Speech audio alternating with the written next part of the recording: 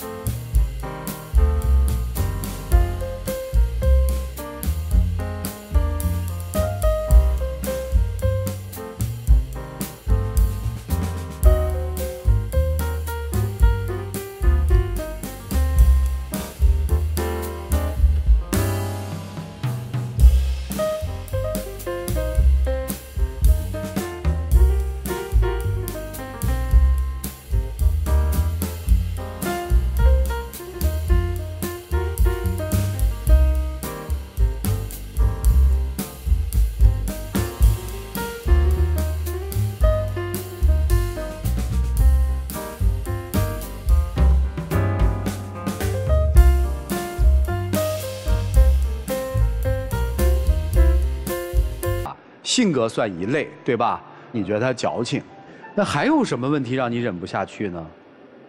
就是不太想我的感受，光想着自己。就比如大晚上解决问题，他总想着就自己得劲儿，然后就不让别人睡觉，然后也不让别人休息。我那是让自己得劲儿吗？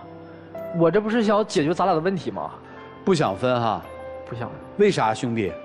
哎，兄弟这词儿我不能叫啊！你们俩之间的叫法，你看啊，因为，毕竟在一起都四年了嘛，其实也没什么大事儿，就是一些小事儿，生活上面的琐碎的小事儿。他甚至因为我喜欢篮球，不让我看球赛。你还好意思说？我有一次在家里上厕所，然后没有纸了，我就喊了他那么长时间，喊了好几遍给我送纸，然后不大会儿在那边说一句好球，那，那我当时我清楚记得那场比赛詹姆斯绝杀，那我，我当时肯定很激动啊！我没我没找听着，詹姆斯，你别找我了。不讲理。还有就是我俩出去旅游，就好不容易能有时间，俩人在一块儿能空出几天，然后去秦皇岛那边去旅游。本来天气挺好的，然后两个人出去玩玩，那非要在宾馆看球赛、看直播。嗯，这我承认，这是我不对，但是我觉得没有必要因为这一个小事闹到分手这个地步。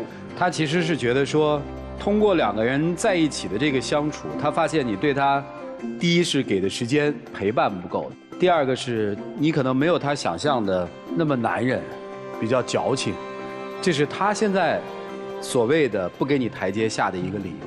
你说分手好吧，我分手吧。你觉得这姑娘身上什么是你忍受不了的？她整个一个网瘾少女，天天就知道吃鸡。游戏有那么好玩吗？